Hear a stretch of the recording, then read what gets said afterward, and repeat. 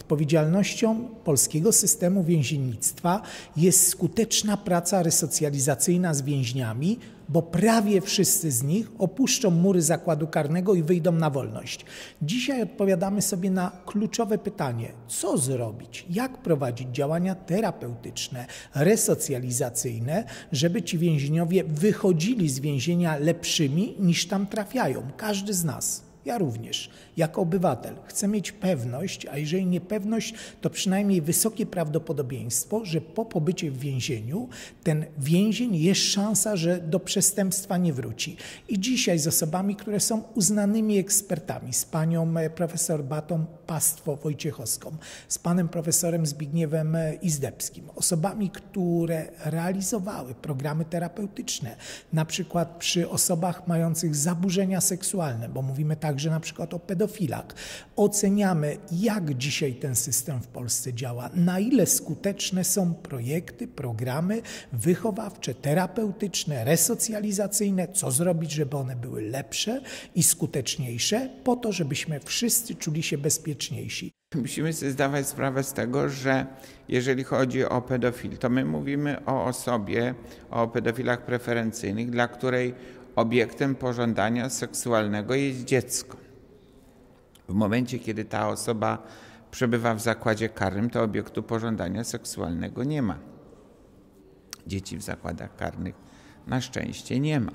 W związku z tym e, jest to pewna trudność dotycząca jego funkcjonowania już w warunkach wolnościowych i dlatego tak ważne jest to, żebyśmy e, potrafili w czasie tych wielu lat pracy e, z tą osobą tak pracować, żeby wprowadzić pewne mechanizmy kontroli.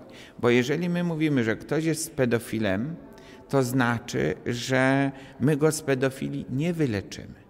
My możemy jemu tylko pomóc, jak on ma żyć mimo że jest pedofilem. Jak może funkcjonować na wolności, tak aby nie wchodził w konflikty z prawem, nie realizował swoich e, tych potrzeb e, seksualnych, które mają charakter patologiczny, żeby mógł kontrolować swoje zachowanie. Mamy przykłady w naszym społeczeństwie osób, które odbyły wyroki i wróciły do społeczeństwa i prawidłowo w tym społeczeństwie funkcjonują. Natomiast myślę, że bardziej koncentrujemy się na tych przypadkach, które związane są z brakiem umiejętności powrotu do społeczeństwa albo obawami społeczeństwa, czy te osoby będą w stanie prawidłowo e, funkcjonować w tym społeczeństwie. Bardzo często osoba, która wychodzi z zakładu karnego, jest osobą, która nie ma pracy.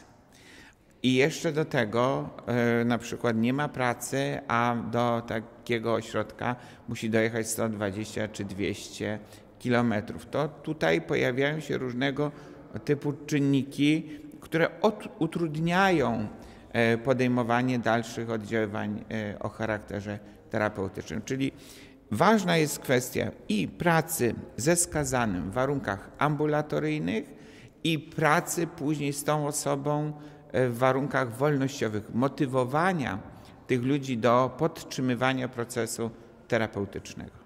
Dzisiaj mamy wyjątkową okazję, bo do tej pory y, w sposób szczególny patrzyliśmy na więziennictwo jako na koszt. Dzisiaj patrzymy na więziennictwo trochę szerzej, bo mówimy, jakie koszty warto ponieść, żeby przestępca nie wrócił do przestępstwa, a tym wyjątkowym przestępstwem jest sprawca przestępstw seksualnych, czyli pedofil.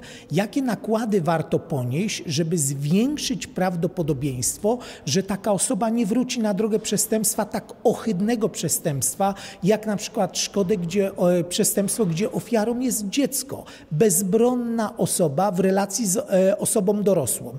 I dzisiaj to jest niepowtarzalny moment. Opinia publiczna zaczęła sobie zadawać pytanie, gdzie jest ten rzeczywisty koszt, że to nie jest koszt tylko w trakcie pobytu za murami zakładu karnego, bo dużo większy jest koszt, jeżeli nie poniesiemy pewnego wysiłku, żeby dalej zajmować się tym sprawcą, dalej kontynuować procesy terapeutyczne, terapeutyczne także po opuszczeniu przez niego zakładów, e, murów zakładu karnego, bo jeżeli tego nie robimy, to niestety w sposób znaczący zwiększa się prawdopodobieństwo, że on wróci do przestępstwa.